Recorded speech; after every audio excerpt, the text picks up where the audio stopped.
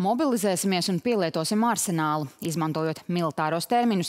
Cīnīties par vietējās vidusskolas saglabāšanu apņēmušies Viļānu iedzīvotāji. Vidusskolas posmā tur mācās mazāk nekā 60 skolēni, taču tā ir otra lielākā skola novadā. Pašvaldības vadītājs Rēzeknes novada domas priekšsēdētājs Monvīts Švarts savas partijas biedras Andras Čakšas plānu kritizē un Viļānu neiezīmēšanu saglabājamo vidusskolu kartē sauc par pārpratumu. Skolu tīkla reformas dēļ var saspringt arī vietvaru kaimiņa attiecības. Plašāk stāsta Dinija Jemeļānova. Viļāna mazpilsētā darba dienas noslēgumā cilvēki plūst uz kultūras namu, taču ne lai apmeklētu kādu koncertu, bet rastu atbildus jautājumu, vai tiešām Viļānos vairs nebūs vidusskolas. Galvenā skaidrotāja lomu uzņēmies pašvaldības vadītājs. Gudri, savārstīti vārdi, bet tad, kad tu saproti, ko tur viņi ir sastrādājuši ministrijas koridoros, tad, nu, satura nekāda. Politiķis darbojies arī pašvaldību pārstāvju darba grupā.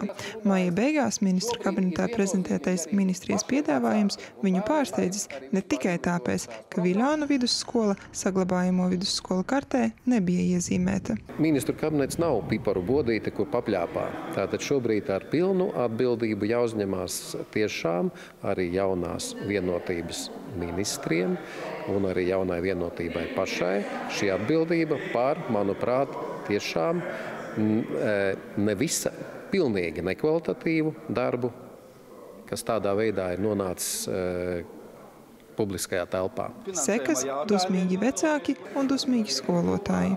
Nu, muļķības vienkārši. Nu, Stūmīgi tie lēmumi. Nu.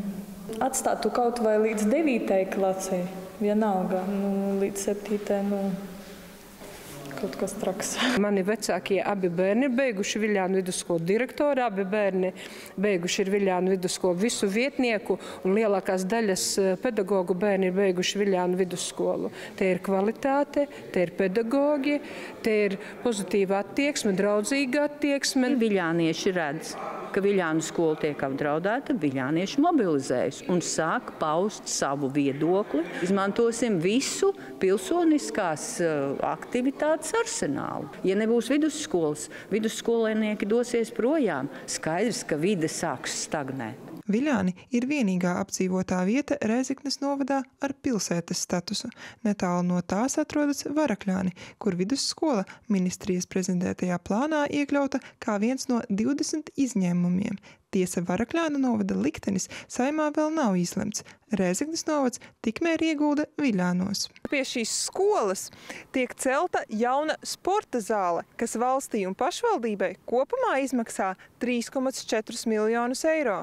Domas priekšsēdētājs gan sola, ka sarunā ar partijas biedri pievērsas viņas uzmanību Viļāniem. Ministrijā apstiprina, ka sabiedrības apspriešanai jūlija sākumā paredzētajā piedāvājumā korekcijas būs, taču nekonkretizē kādas. Dinija Jimļanova, Māris Justs, Latvijas televīzija.